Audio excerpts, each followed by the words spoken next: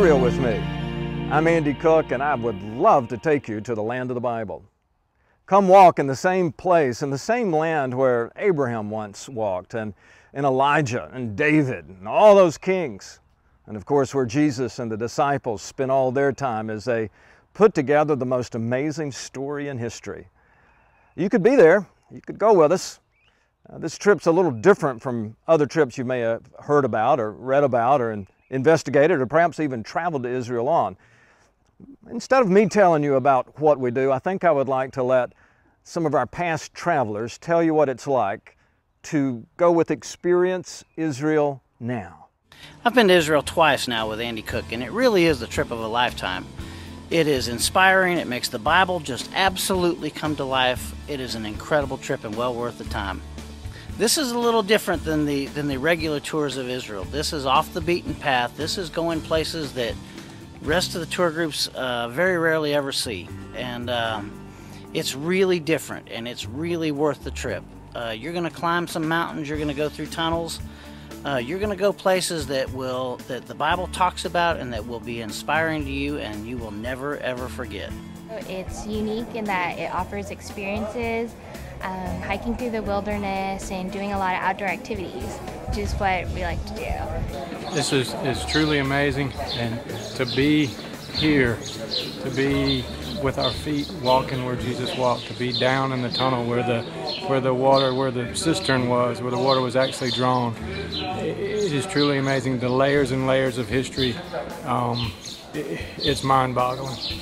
I don't. Words can't even comprehend what we're experiencing yeah, to be able to see these sites firsthand and you know we've read about them we've heard about them but to be here and actually see them for yourself it's just truly amazing it's just so overwhelming and, and such a, a, moment that I'll never forget. Oh gosh, uh, this tour, I mean all the tours we've been doing, climbing Masada, climbing uh, uh, Mount Carmel, uh, all the hiking we've been doing actually, uh, well your phrase, you, you learn with your feet, you definitely have a much better appreciation for it, how they live. Um, it makes it more personal and it verifies um, at least my walk with God because um, before when I just read the scripture, it was just um, you know a story and oh that you know that sounds good or whatever. But actually, you know, walking and climbing, invigorating and exciting, but humbling at the same time.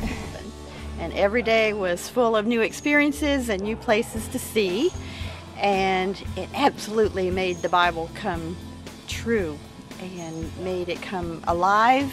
And I really could talk all day about Israel by going to Israel.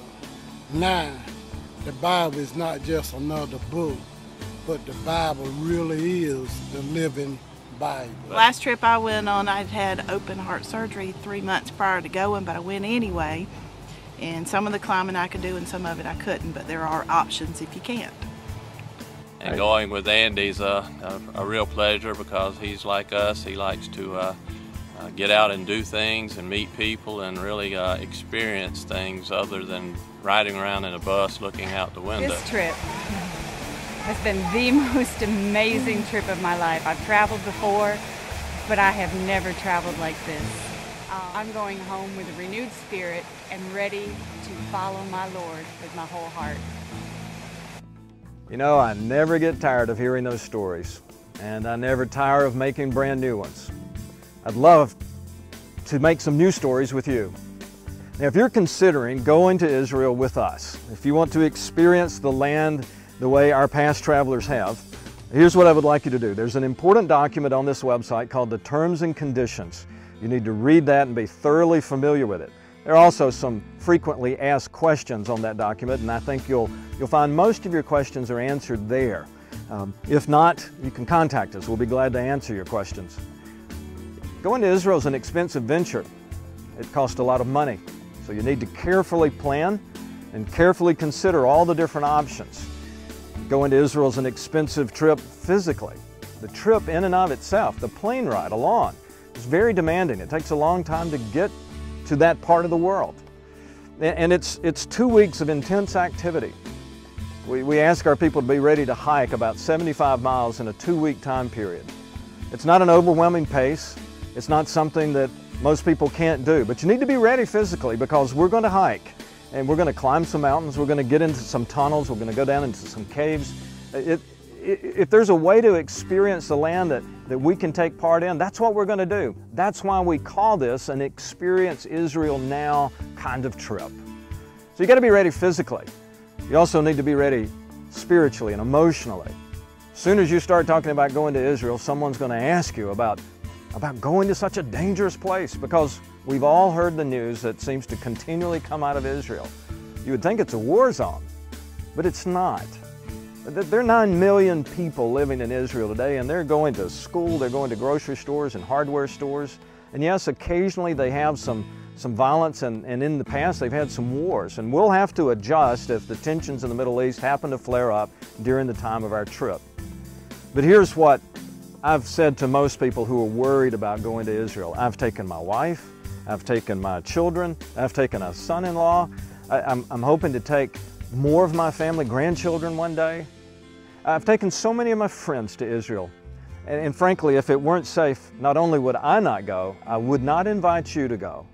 But I am inviting you to go, and I think you'll find that, that, that Israel's an amazingly safe and friendly place. Most of our travelers feel like they've found a second home by the time they finish their tour. Spiritually, if you want to go with us, I need you to be prayed up. I need you to read the Bible a lot before you go, and we're going to ask you to memorize some, some passages of Scripture that you'll be responsible for. And when we get to a certain location in Israel, you'll know when it's your time to, to quote that passage.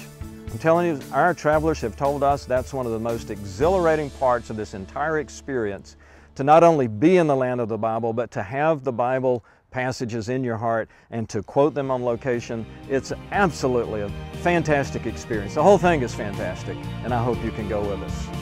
We're headed back to Israel. I'd love to take you with us. Come, go to the land of the Bible with me. You'll never be the same.